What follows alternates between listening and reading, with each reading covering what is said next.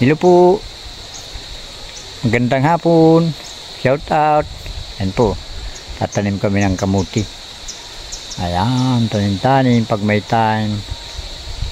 Ayan po.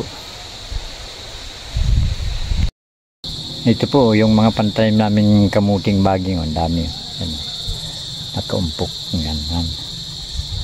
Ayan po. Tanim po tayo. Magsipag po tayo ngayon. Ngayon lang ito magsipag. Para pag nagtag-ulan na po, may anihin na. May pagkain na yung person. Ayan. Ayan po. Aming pantanim. Tapos dito pa po. Ayan. Yung tataniman namin. Ayan. Ayan. Yung pinya po.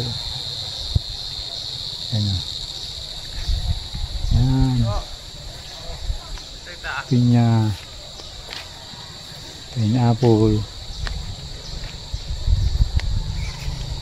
Yan po tatanim namin. Ayan. Lapad po yan oh. Lapad. Ano. Hawak. Ito po may pinya. Yung pinya. Medyo hinog-hinog na. oh. Yan. Ito po yung tanim kong pinya nung dati. Dati po ito ay maliliit pa. Yan po may hinog na. oh. Yan po yung hinog. Oh. Yan o, madilaw na yun. oh. Hindi na makuha matinik. Ano naman? Yan po yung aking Yan po yung pinya ko. Yan, may hinog no. Yan, yung pinya kong tanim. Tapos ito po yung aming inararo. Ayan. Pasyal ko muna po kayo. Pasensya na po dun sa mga nagtatanong kung bakit hindi na nag-vlog. Focus muna po ako dito sa aming farm dahil ah wala po. Masyadong naghihirap na. Pagka ang pag-scout or pagbablog po ang intindihin natin. Wala po magugutom. Ah, yung pang araw-araw po namin eh, dito lang namin kinukuha. Ayan o. Ito po yung aming ah, pinag kakaabalahan sa ngayon. Ayan po. Ayan. Ito po yung pinya ko. Pabungahin ko na po ito ngayong ah, July para buwan ng December uh, ga-harvest.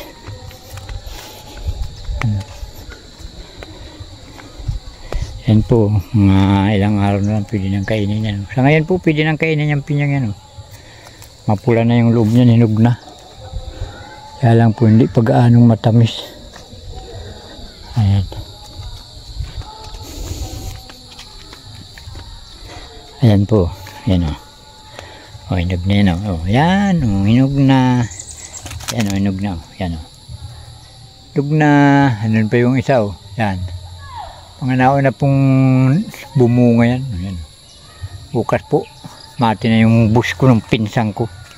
Sabado bukas, sa ahon yun.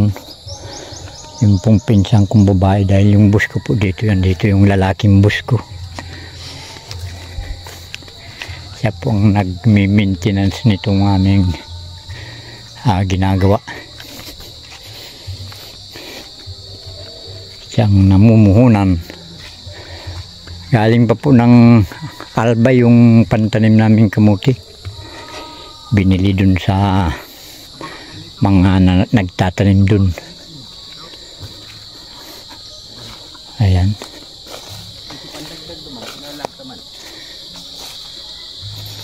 Ito na po yung nailatag namin bukas. Kabilugan ng buwan. Ano. Tanim na namin yan dahil pagkabilugan daw po ang buwan, malalaki yung laman. Ano. Ayan, nakalatag na. Karidi na para bukas. Bukas, tanim na lang. Ayan, yung mga ano ko, yung mga kasama namin, ano. Ayan. May mag-ina kaming kasama. Umiiyak na. Iyak na. Hmm. Yan na. Tapos nag-illegal kami ano, kahoy. Pinutol namin dyan sa gitna ng tinanaman namin. Ano.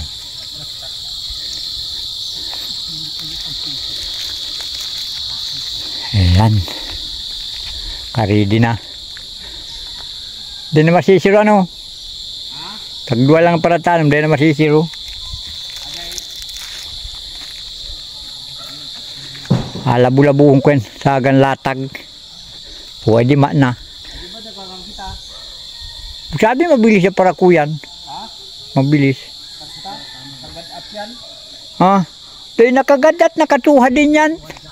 Katus, naiikangan niya narog kayo.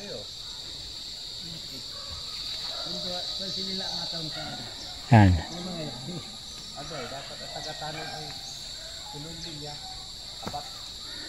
Babay na po. Shoutout po sa inyong lahat.